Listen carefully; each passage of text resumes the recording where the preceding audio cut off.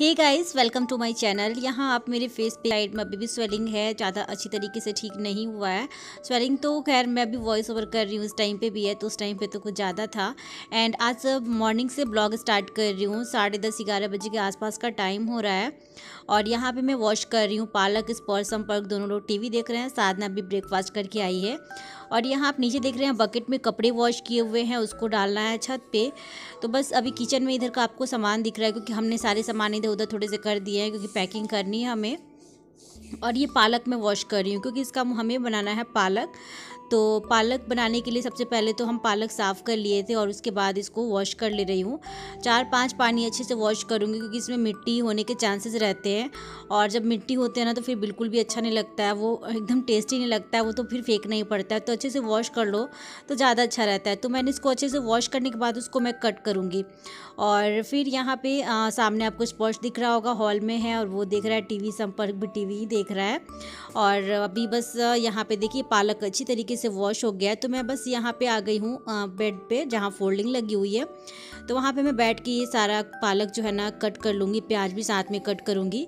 यहाँ साधना बात कर रही है फ़ोन पे और हीटर भी था क्योंकि बहुत ज़्यादा सर्दी है। इतना ज़्यादा, इतनी ज़्यादा मतलब ठंड है ना कि पूछो नहीं। यहाँ देखिए पालक के ऊपर पानी है तो कितना अच्छा दिख रहा है, एकदम ग्रीन ग्रीन, बहुत ही अच्छा दिख रहा था। तो मैं सोची ना, जब ऐसे दिख रहा था तो मैं सोची थोड़ा सा इसको कैप्चर कर ली अपने कैमरे में और मैं इसको छोटे छोटे पीसेस में कट कर लूँगी और साथ में ऑनियन भी मैं कट कर लूँगी। तो यहाँ पर देखिए पूरा पालक मैंने कट कर लिया। ऑनियन तो वैसे और भी डाल दी, लेकिन इतना ज़्यादा महँगा है महँगाई में ऐसा नहीं लगता है कि ज़्यादा डालो। तो बस मैंने तीन छोटे छोटे ऑनियन सब छोटे ही छोटे थे, इसलिए मैंने तीन इसमें डाल दिए। हैं और थोड़ा सा बेसन भी ऐड करेंगे। तो इस तरीके से बस थोड़े टाइम में हमारे घर पालक पकौड़े बनेंगे और चावल दाल भी बनेगा। क्योंकि इस स्पर्श का फेवरेट खाना है चावल दाल के साथ पकौड़े और मुझे भी बहुत अच्छा लगता है। यहाँ साधना किचन में है और ये दाल थोड़ा सा उसको ग्राइंड कर रही है, चने की दाल। एंड दाल ग्राइंड करने के बाद फिर थोड़ा सा बेसन भी उसमें मिक्स करना है। तो बस मैं किचन में आ गई हूँ उसको रखने के लिए और मैं थोड़ी देर बाद आप लोग का नाम भी लेती हूँ, जिनके जिनके नाम लेना है। और हमारी पैकिंग भी थोड़ी बहुत स्टार्ट हो चुकी है तो बस अब कल वाले ब्लॉग में आप लोग को पैकिंग दिखाऊँगी कि हमारे घर से जो भी सामान निकलेगा। क्योंकि आज का जो ब्लॉग है ना, मैं दो पार्ट में करने वाली हूँ। रात का जो पैकिंग हम करेंगे, मैं और साथ ना उसका मैं अलग कर दूँगी क्योंकि ब्लॉक फिर लंबे हो जाते हैं। तो यहाँ पे दाल अच्छी तरीके से ग्राइंड हो चुका है, चने की दाल एंड इसमें, उसके बाद में इसमें पालक वालक सब डाल लूँगी और इसमें मिक्स कर दे रही क्योंकि इसी पतीले में इसको फेंटना है।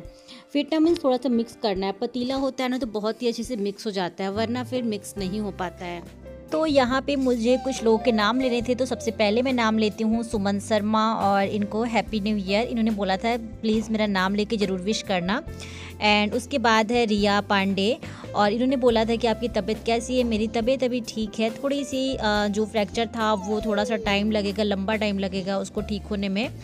एंड उसके बाद है अवनीश पांडे। तो इन्होंने भी बोला था कि हैप्पी न्यू ईयर लेकिन मेरा नाम लेके ज़रूर विश करना। तो एंड उसके बाद है Raman Kaur and Nibha Kumari. Happy new year dear सबको। Happy new year Soni Sharma. And उसके बाद है सपना यादव, रुचि तिवारी। एंड सौरभ दुबे, श्वेता जायसवाल। एंड उसके बाद है सीमा गुप्ता अक्ष मिश्रा। एंड यहाँ पे मैं बेसन मिक्स कर रही हूँ। और इसमें सब मसाले वगैरह सब कुछ मैं इसमें ऐड कर दूँगी। पुष्पा वर्मा, मनीष कुमार सिंह। एंड उसके बाद है शालिनी कुमारी, निशा, नन्ही एंड नेक्स्ट है कुमारी मानशी एंड उसके बाद है वंदना पाठक, आरती यादव, अलका कुमारी, अर्पिता मिश्रा। एंड उसके बाद है काजल कुमारी, इन, ये मेरी न्यू सब्सक्राइबर हैं वेलकम है आपका। एंड उसके बाद है Pooja Gupta, Arvind Gupta. And Megha Singh Singh. And Krinjaljeet Kaur.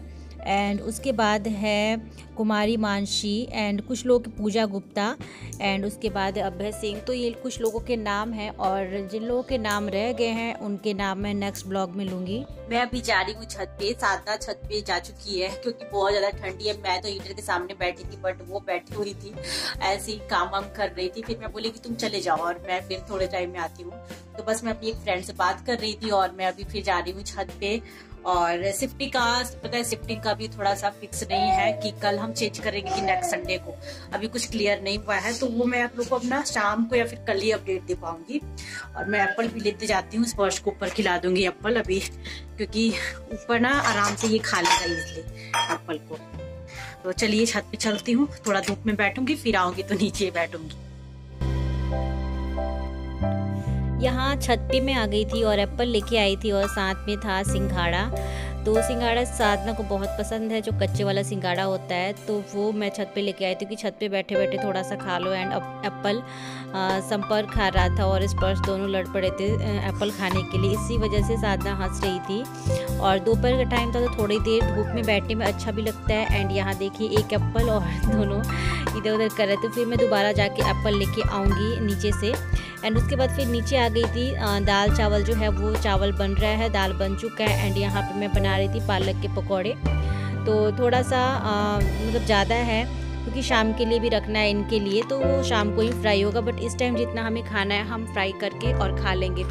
तो इसी वाली कढ़ाई में मैं बना रही हूँ, जो छोटी वाली कढ़ाई है, मैं सोचती हूँ ना ही यूज़ करूँ, फिर इसको यूज़ कर ही लेती हूँ। तो जब मैं यूज़ करती हूँ, यहाँ स्पॉश आ गया तो उसका कैप मैं ठीक कर रही थी, क्योंकि मंकी कैप आजकल डाल रहा है, बहुत ज़्यादा सर्दी है। तो थोड़ा बहुत इधर उधर हो ही जाता है। एंड यहाँ पे मैं गई थी हॉल में और उसके बाद हमारा खाना जो है वो बन चुका है और मैं यहाँ पे निकाल रही हूँ राइस और गर्मा गर्म राइस सर्दियों में खाने में अच्छा लगता है। ठंडी मतलब ठंडा राइस बिल्कुल भी अच्छा नहीं लगता इस टाइम खाने में। तो यहाँ पे दाल और चावल और पकौड़े, बस यही है। सुबह सब्ज़ी बनी थी तो वो ख़त्म हो चुकी है। तो इसी वजह से हम सोचे कि जल्दी जल्दी यही बना लेते हैं। और स्पर्श देखिए, स्पर्श मेरा कैप मतलब मेरा स्कार्फ जो होता है ना, वो बांधा है। और उसका कैप वो खुद निकाल के फेंक दिया। उसके बाद वो खुद वो डाल के आया और हम जा रहे हैं अभी लंच करने और आप लोग भी गर्मा गर्म जो हमारा लंच है, वो आप लोग भी कर लीजिए दाल, चावल एंड पालक, प्याज के पकौड़े। और आप लोग का लंच टाइम क्या होता है? हमारा वहीं एक बजे के आसपास का ही टाइम होता है।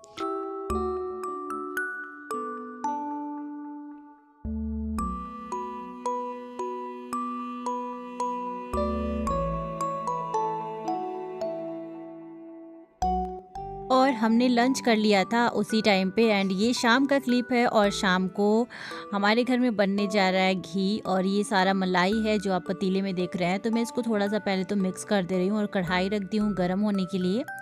क्योंकि जब अच्छी तरीके से कढ़ाई गर्म हो जाता है, उसके बाद इसको डालो तो ज़्यादा अच्छी तरीके से बनता है, जैसा कि मम्मी लोग बोलते हैं। तो यहाँ पे मैंने कढ़ाई रख दी है और ये गर्म हो रहा है, थोड़ा सा पानी आपको दिख रहा है तो वो सूख जाएगा। उसके बाद में जो मलाई है, उसको मैं डालूँगी। और ये जो मलाई है, हफ़्ते से ज़्यादा हो गए हैं तो इतना सारा मलाई और इसमें घी भी बहुत अच्छे से निकल जाता है। तो इसको थोड़ा थोड़ा हमेशा चलाती रहूँगी और नीचे तो थोड़ा सा पकड़ लेता है। वैसे लास्ट में क्या होता है ना कि बहुत सारे लोग इसको अच्छे से फेंट के ग्राइंडर में उसके बाद बनाते हैं। बट मुझे ये वाला इजी लगता है तो मैं ऐसे ही अक्सर बनाती हूँ। तो यहाँ पे मैं कढ़ाई में इसको अच्छी तरीके से फेंटती रहूँगी, काफ़ी टाइम लगेगा बनने में तो मैं बिल्कुल लो फ्लेम कर दी हूँ। और ये देखिए यहाँ पे ये बहुत ही कम हो गया है तो मैं थोड़ी देर बाद ये क्लिप बनाई थी। वैसे ही वीडियो काफ़ी ज़्यादा लंबी होती है। ये देखिए, घी निकलने लगा है, ऊपर से छोड़ने लगा है घी और ये इकट्ठा होके ये काफ़ी ज़्यादा हो जाएगा। तो मैं इसको डार्क करूँगी। कभी कभी जब खाना होता है ना, बहुत सारे लोग इसको खाते हैं तो हम भी इसको खाते हैं बट मैं जब नहीं खाना होता है तो मैं थोड़ा सा इसको जला देती हूँ। तो अच्छी तरीके से घी जो है ना, वो अलग हो जाता है। तो मैं इसको बिल्कुल डार्क कर दूँगी। और ये आप देख रहे हैं कितना अच्छे से सारा साइड में यहाँ पे घी जम गया है, साइड साइड में। जब हम इसको छानेंगे तो बहुत ही अच्छे जम जाएगा। यहाँ पे मैं प्याज रखी हूँ और लहसुन रखी हूँ, हॉल में इसको छीलना है। और आज शाम को हमारे घर रात में बनने वाला है एग कड़ी तो साधना उसका मसाला बना रही है दूसरी साइड में कुकर में। और यहाँ पे मैं दूसरी साइड में इधर घी बन रहा है। तो बस एग नहीं है तो ये लेके आएँगे शाम को, तब बॉयल होगा। तो हमने सोचा कि पहले तो हम इसका कड़ी जो होता है, प्याज जो मसाला है, उसको हम बना लेते हैं और रात में बस हम उसमें एग को बॉईल करके और फ्राई करके हम डाल देंगे। तो बस वही मैं बोली कि पहले तो मसाला बन जाएगा एंड उसके यहाँ देखिए खड़ा जीरा डाल रही है वो और उसके बाद तेज पत्ता दालचीनी छोटी इलायची बड़ी इलायची जो भी हम मसाले डालते हैं जो बेसिक मसाले होते हैं उसे थोड़ा सा हटके ही डालना होता है। वैसे तो, तो मैं दालचीनी हर एक सब्ज़ी में डालती हूँ क्योंकि इसका फ्लेवर मुझे बहुत ज़्यादा पसंद है और इधर घी भी बन रहा है। तो यहाँ पे साधना प्याज डाल रही है ऑयल डाल चुकी है एंड मिर्च वगैरह उसी में कटे हुए हैं और लहसुन जो होता है, लहसुन भी उसी में उसके बाद उसको अच्छी तरीके से मिक्स कर लेगी एंड हम सोचे ना कि हम पहले ही बना लेते हैं जल्दी जल्दी क्योंकि हमें शाम को करनी थी पैकिंग तो रात में पैकिंग हम करेंगे जो भी होगा साढ़े ग्यारह बारह जो भी जितना टाइम हो जाएगा क्योंकि बच्चे लोग भी हैं वो काफ़ी ज़्यादा परेशान करते हैं। यहाँ देखिए घी का जो मलाई था ना, वो बिल्कुल डार्क होने लगा है तो इसको थोड़ा थोड़ा मैं बोली कि साइड कर लेते हैं, क्योंकि घी फिर साइड में अलग हो जाता है। तो देखिए नीचे थोड़ा सा पकड़ भी लिया है, वैसे हमें इसको डार्क नहीं करना होता तो मैं पहले ही बंद कर दी होती, इसको थोड़ा सा डार्क करना है। और यहाँ पे कुकर में से ये थोड़ा सा ना ख़राब हो गया, इसका रबड़ चेंज करना पड़ेगा। और यहाँ हमने गैस बंद कर दी है और घी बस निकालना है तो ये वाला बाउल मैंने दिया उसको, साधना को निकालने के लिए। एंड ये इसमें थोड़ा थोड़ा सा पानी था, इसलिए वो ड्राई कर रही है उस बाउल को। एंड उसके बाद उसमें छन्नी लेके, जो चाय वाली छन्नी है, उससे उसे डाल रही थी, लेकिन उससे ना नहीं हो रहा है, क्योंकि वो छोटा पड़ जा रहा है और कढ़ाई बढ़ा है हमारा। तो इसी वजह से होता है ना कि साइड साइड में गिरने लगता है तो वहीं प्रॉब्लम आ रही थी। तो उसने बोला, भाभी, नहीं हो रहा है। फिर मैंने छोटा वाला बाउल मैं सोची कि निकाल के दे देती हूँ, क्योंकि मैं अक्सर छोटे वाले बाउल से ही मैं निकाल लेती हूँ या फिर बड़ा रहता है ना तो मैं उसमें ऐसे कर लेती हूँ। तो यहाँ पे बस इसको मैंने दिया है कि इससे निकाल के ट्राई कर लेते हैं, वैसे इससे नहीं होगा। और मैं यहाँ पे, मुझे डॉक्टर के पास जाना था तो यहाँ पे मैं स्वेटर वगैरह निकाल दी हूँ, वैसे मैं फिर किचन में आई थी थोड़ी देर के लिए। क्योंकि ये बोले थे कि मैं आऊँगा तो फिर तुम चलना और मुझे बस चेंज वेंज कुछ नहीं करना है, मैं जैगिंग चेंज करूँगी, मन होगा तो मैं स्वेटर डालूँगी तो ये छोटा थोड़ा सा बड़ा पड़ गया। उसके बाद छोटा वाला ये इस बाउल से बहुत ही अच्छी तरीके से होगा। तो ये देखिए, इतना सा निकाल निकाल के और छन्नी में जब डालो ना तो बहुत ही ईजिली घी बन मतलब निकल जाता है। तो और जो ऊपर की मलाई होती है, वो अलग हो जाती है, फिर छन्नी से इसमें कढ़ाई में डाल दो। तो इस तरीके से मैं निकालती हूँ मलाई से घी और बहुत ही ईजिली निकल जाता है और काफ़ी ज़्यादा निकलता है।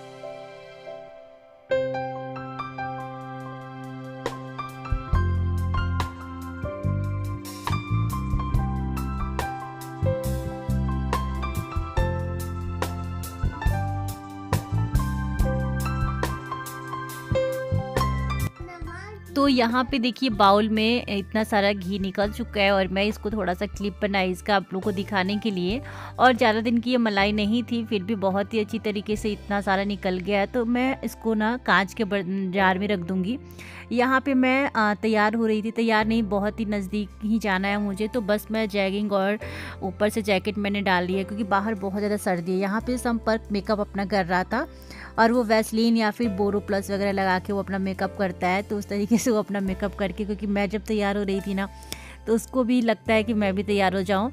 तो इसी वजह से वो भी अपना मेकअप करें। यहाँ मेरे हेयर देख रहे हैं, कितना गंदा सा दिख रहा है। मैंने चोटी बना रखी थी। और बस मैंने शैम्पू तो किया था, लेकिन उसके बाद बिल्कुल भी ध्यान नहीं दे पा रही हूँ आजकल मैं हेयर पे। तो इस तरीके से बहुत ही बेकार सा तीन चोटी आप लोगों को दिख रही है। तो बस अब थोड़ी दिन बाद जब ठीक हो जाएगा, अभी सर्दियाँ भी हैं और तबीयत भी ठीक नहीं इसी वजह से मैं ज़्यादा ध्यान नहीं दे पा रही हूँ। तो बस इसी तरीके से मैं थोड़ा सा कॉम करके और मैं एक बन बना लूँगी। और नीचे के तो मैं बाल सुलझा भी नहीं रही हूँ आजकल तो बस ऐसे मैं बन बना ले रही हूँ। और उसके बाद ये फिर थोड़ी देर बाद आएँगे, अभी आए नहीं हैं। तो ये आएँगे, फिर मैं जाऊँगी डॉक्टर के पास और स्पर्श को भी मुझे रेडी करना है और इसे स्वेटर या जैकेट उसको भी डाल देना है। और यहाँ पे भी साधना फिर से गई है किचन में और संपर्क आ रहा है, जा रहा है, ऐसे कर रहा है।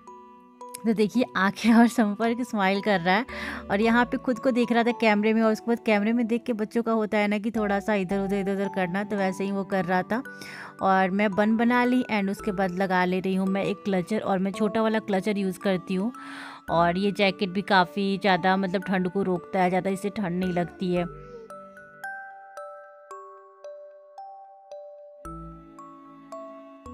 यहाँ पे ये ऑफ़िस से आ गए थे और ये लेके आए थे समोसे तो बस हम समोसे खाएँगे और उसके बाद मैं निकलूँगी। तो यहाँ पे मैं डॉक्टर के पास आ चुकी हूँ और यहाँ का मैंने क्लिप नहीं बनाया था, बस थोड़ा सा बनाया था तो उसको मैंने ऐड कर दिया। और यहाँ देखिए स्पर्श है और मैं हूँ और उसके बाद मैं बाहर निकल गई थी तो यहाँ से लेना था हमें दवाई। तो डॉक्टर ने मुझे एक दो दवाइयाँ थ्री मंथ्स खाने के लिए बोली है क्योंकि उससे फ्रैक्चर ठीक होगा और ऐसे तो नॉर्मल मैं हफ़्ते भर दवाई और खाऊँगी, उसके बाद मैं बंद कर दूँगी। यहाँ पे आ गए थे जो हमने घर लिया है, उसका मैंने थोड़ा सा क्लिप बनाया तो आप लोग भी देख लीजिए। ये है किचन और बहुत मतलब अच्छा लगा मुझे, पसंद आया ये घर। इसी वजह से हम ले रहे हैं तो ये किचन है और किचन में भी काफ़ी स्पेस है। उसके बाद ये है हॉल तो ये टू बी के है और हॉल के बाद ये हो गया एक बेडरूम और बेडरूम से अटैच लेट बाथरूम है तो यहाँ पे आप देख सकते हैं ये और ये बेडरूम का साइज़ थोड़ा सा बड़ा है। और उसके बाद फिर ये एक और रूम है यहाँ पे, ये भी बेडरूम तो ये भी इसका भी साइज़ ठीक है और पीछे में बहुत सारी मतलब स्पेस दिया हुआ है गैलरी वगैरह और साइड में भी गैलरी है। तो मैं आगे के ब्लॉग्स में आप लोग को दिखाऊँगी मैं छोटा सा ही ऐसे क्लिप बना पाई थी। तो यहाँ जो भी आ, मतलब रूम का साइज़ था वो सारा कुछ अच्छा है तो आगे आप लोग को रूम टूर भी होम टूर भी दूँगी। एंड उसके बाद यहाँ पे हम वापस घर जा रहे थे उसके बाद साथ ही साथ मैं इस ब्लॉग को इंड कर देती हूँ। आगे के ब्लॉग्स में आपको ये घर देखने को मिलेगा। Bye Take care. Love you all.